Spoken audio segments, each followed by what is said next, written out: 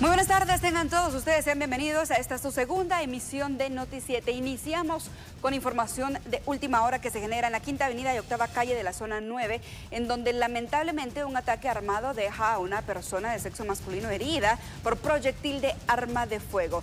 Los bomberos municipales acudieron a la emergencia y lo llevaron de inmediato hacia la emergencia del Hospital Roosevelt. Eh, se supone o se habla, los, las personas que estaban en las cercanías, que intentaron asaltar a esta persona y se negó. Es por ello que pudieron haberle disparado. Esta es la hipótesis que se maneja hasta este momento.